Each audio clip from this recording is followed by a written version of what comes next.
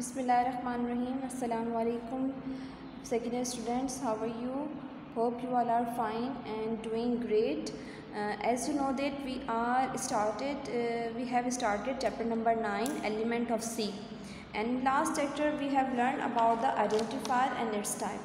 Today we are going to discuss the next topic of this chapter is keywords. Keywords are the reserve words ठीक है?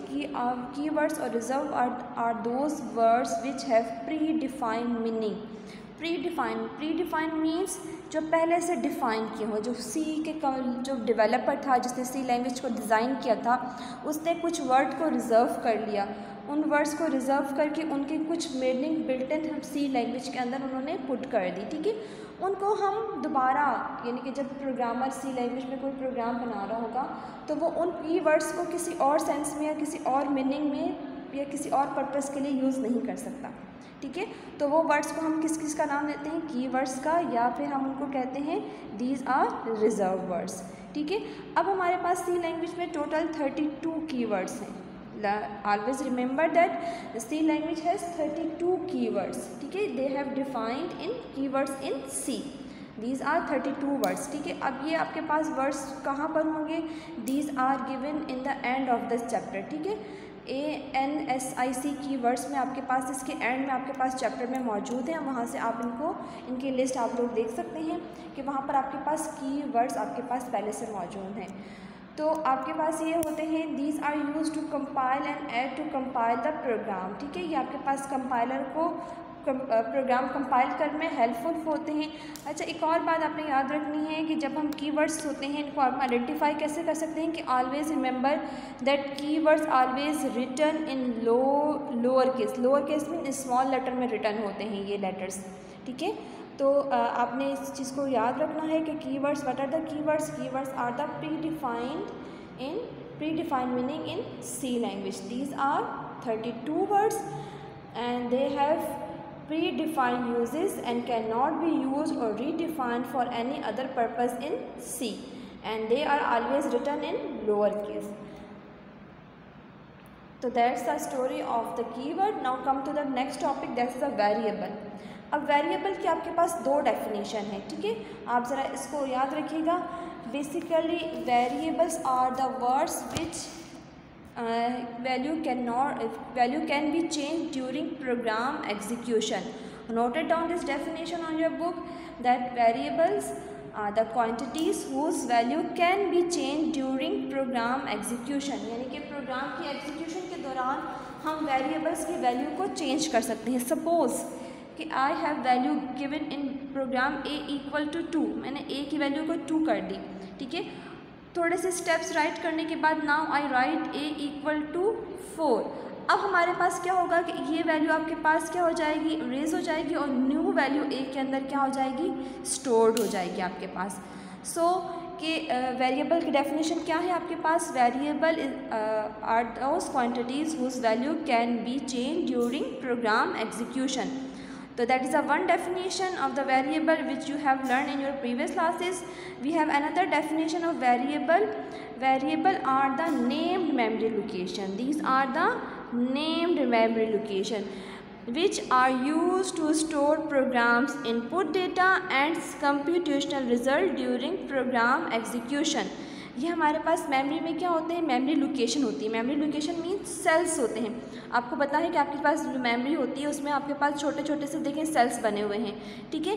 हर एक cell का एक address होता है। जैसे इस वाले का एड्रेस है zero zero zero second one क्या है? ज़ीरो ज़ीरो वन तो these are the addresses of this cells अब हमारे पास क्या होता है? हमने सपोज़ किया कि हमने ए की वैल्यू दे दी टू अब इस, हम इस वाले सेल की अगर बात करते हैं ज़ीरो ज़ीरो टू की बात करते हैं तो अगर मैंने यहाँ पर वेरिएबल लिया है फॉर एग्जांपल मैंने एक वेरिएबल ले लिया V A R V A R के अंदर हमने स्टोर करवा दिया ट्वेल्व स्टोर करवा दिया।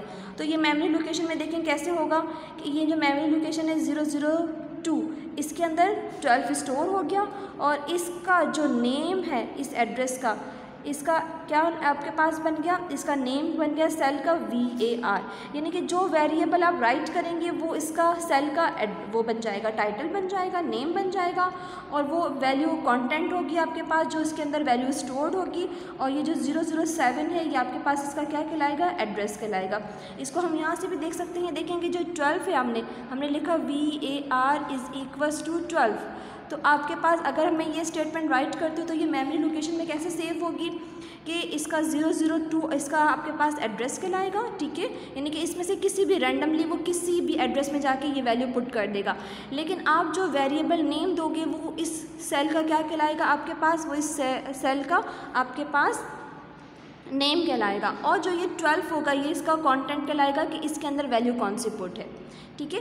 तो ये जो आपके पास ये मेमोरी कौन सी मेमोरी होती है? ये आपके पास होती है मेन मेमोरी यानी कि ये रैम में आपके पास क्रिएट होती है memory location so we have the another definition definition of variable are variable are the name memory location cells which are used to store program input data and computational result during program execution highlight this uh, uh, definition on your book ठीक है और आपने साथ में ये diagram भी draw कर सकते हैं ठीक है आप ये एग्ज़ाम्पल भी देख सकते हैं ठीक है सो दैट्स द वेरिएबल अच्छा हमारे पास सी की एक क्वालिटी होती है, एक आपके पास इसकी लिमिटेशन भी आप कह सकते हैं कि हम सी को विदाउट डिक्लोरेशन हम यूज़ नहीं कर सकते। अब यहाँ पर आपके पास वर्ड आ रहा है डिक्लोरेशन। डिक्लोरेशन मीन्स कि आपको पहले से बताना पड़ता है प्रोग्राम को प्रोग्राम में स्टार्ट में कि which how many types of variable are using और उनकी डेटा टाइप क्या है। डेटा टाइप को इंशाल्लाह हम नेक्स्ट अपने लेक्चर में बहुत डिटेल से डिस्कस करेंगे। अभी बस आपने ये याद रखना है कि जब भी सी लैंग्वेज में हम कोई प्रोग्राम बना रहे होंगे, उसमें जो भी वेरिएबल्स हम यूज़ करेंगे, उन वेरिएबल्स को हमने मेन बॉडी में, जब हम मेन बॉडी स्टार्ट करते हैं, जब हमारे कर्ली ब्रैकेट स्टार्ट हो रहे होते हैं, ये डेलीमीटर्स को हम कहते हैं, जब ये स्टार्ट हो रहे होते हैं तो उसमें हमने इनिशलाइज करवाना पड़ता है कि हमारे पास इस प्रोग्राम में हम कितने वेरिएबल यूज़ कर रहे हैं और उनकी डेटा टाइप मीन्स कि वो किस तरह के, वो इंटीजर हैं, वो स्ट्रिंग हैं, वो डेसिमल में हैं, वो उनकी टाइप क्या है, वो हमने डिक्लेयर करवाना पड़ता है, ठीक है?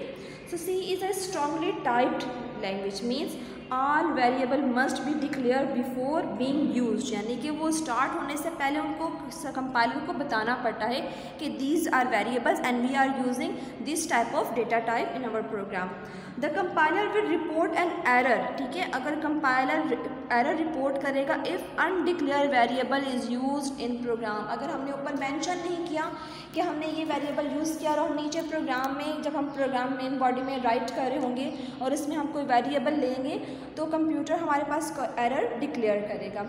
A variable is declare in C by specifying its type type means data type and name ठीक है? इसका हम सिंटेक्स इस तरीके से पढ़ सकते हैं कि सबसे पहले हम डेटा टाइप के हमारे पास वो वेरिएबल जो हम यूज़ कर रहे हैं, वो इंटीजर है, वो आपके पास फ्लोटिंग में है, वो कैरेक्टर में है, वो क्या है? और उसके बाद वेरिएबल नेम यानी कि जो भी वेरिएबल फॉर एग्जांपल मैं आपको यहाँ पर एक एग्जांपल वाइट करके बताती हूँ कि हमने ले लिया int int is a data type ये हम सारे डेटा टाइप आगे के लेक्चर में पूरे पढ़ेंगे कि डेटा टाइप क्या है? इंट इंट मीन इंटीजर है। और वेरिएबल नेम हमने क्या कर दिया? मार्क्स कि मार्क्स एक वेरिएबल है, उसकी डेटा टाइप क्या है? इंटीजर है। इसी तरह हम जब भी हम अपने सी लैंग्वेज में कोई भी प्रोग्राम राइट करेंगे तो हम उसमें सबसे पहले हम उसको क्या बताएँगे? Variable you how many variable are use उनका हमने बताना है स्पेसिफाई करना है and then we always give some data type to it ठीक है? आपके पेज नंबर 147 में डिफरेंट आपके पास इसकी एग्ज़ाम्पल मौजूद है, आप उनको रीड कर लीजिएगा। After declaration there declaration of variable we have to put some name to variable अब जब हम रूल्स हम पढ़ेंगे कि how to name a variable कि हम एक वेरिएबल को नेम कैसे दे सकते हैं? That's a page number 148 we have the list of rules for naming variable to use variable in C we must know the rules to choose name for them here are some important rules for naming variable which you have to keep in mind ठीक है हमने ये अपने mind में रखने हैं जब भी हम अपने सी लैंग्वेज में कोई भी हम रूल्स सब यानी कि हमने अपने माइंड में रखने होंगे जब हम कोई भी किसी भी नेम का वेरिएबल बना रहे होंगे सबसे first A variable name can be consist of letters, digits and underscore. Underscore आपको पता है ना ये डैश साइन होता है that is known as character underscore ठीक है तो हम किसी भी जो सी में हम लैंग्वेजेस में हम बनाएँगे वेरिएबल्स राइट करेंगे, उनके अंदर हम लेटर्स भी रख सकते हैं डिजिट्स भी रख सकते हैं और उसके अंदर हम अंडरस्कोर भी यूज़ कर सकते हैं। The first character name must be a letter ये आपके पास एक लिमिटेशन आ गई कि आपने फ़र्स्ट लेटर होगा, वो क्या कंसिडर करना होगा? आपने लेटर होगा, यानी कि letter means A B C D यानी कि अल्फ़ाबेट में से कोई लेटर होगा। And underscore is also legal for first character test ये आपके पास एम के लिए भी लाइन है कि हम अंडर स्कोर को भी as a first character use कर सकते हैं। But it is not recommended therefore nine winner is a wrong variable ठीक है? Hash home is wrong variable two kilogram is invalid variable name in C why invalid क्योंकि यहाँ पर हमने number use कर दिया, यहाँ हमने एक करेक्टर यूज़ कर लिया, यहाँ पर भी हमने न्यूमेरिक वैल्यू दे दी. तो दीज आर रॉन्ग वेरिएबल ठीक है? ये रॉन्ग वेरिएबल है, ये इम्प्लीमेंट नहीं हो सकते. हमेशा जो वेरिएबल नेम होगा, वो स्टार्ट किससे होगा? आपके पास लेटर से. हम अंडरस्कोर भी फ़र्स्ट में यूज़ कर सकते हैं but it is not recommend आपको रिकमेंड नहीं करते, आपको यही कहते हैं कि फ़र्स्ट प्रेफरेंस आपकी होनी चाहिए कि आपका जो फ़र्स्ट हो, वो किससे हो? स्टार्ट लेटर से स्टार्ट हो। सी इज़ केस सेंसिटिव इनमें लास्ट लेक्चर में पढ़ा था कि की C is a very case sensitive तो हमने हमेशा याद रखना होगा कि अगर हम कैपिटल लेटर यूज़ कर रहे हैं तो हमने प्रोग्राम में जब जब उस वेरिएबल को कॉल करना होगा तो हम कैपिटल लेटर वाला वेरिएबल ही यूज़ करेंगे। अगर हम स्मॉल लेटर में लिख रहे हैं, वो वेरिएबल तो हमने ऑलवेज जब हम इसको कॉल करेंगे तो हमने उसको स्मॉल लेटर से काउंट करना है, क्योंकि जो स्मॉल लेटर में लिखा हुआ वर्ड होगा और कैपिटल में लिखा होगा, उनकी डिफरेंट वेरिएबल्स वो कंसिडर करेगा, उनको सेम वेरिएबल को एज अ कंसिडर नहीं करेगा। The fourth one was the C language can be use as variable name we can not use in यानी कि हमारे जो कीवर्ड्स हैं, जो हमने थर्टी टू कितने कीवर्ड्स हमने हमने आपको बताए थे? थर्टी टू कीवर्ड्स होते हैं।